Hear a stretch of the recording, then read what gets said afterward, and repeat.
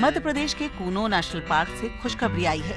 ये खुशखबरी है कूनो में चार नए मेहमानों के आगमन की। नामीबिया से लाई गई मादा चीता सियाया ने चार शावकों को जन्म दिया है, जिसकी बहुत ही खूबसूरत और प्यारी तस्वीर आप स्क्रीन पर देख पा रहे हैं। शावकों को दुलार करती सियाया की ये तस्वीर किसी का भी मन मोह लेगी।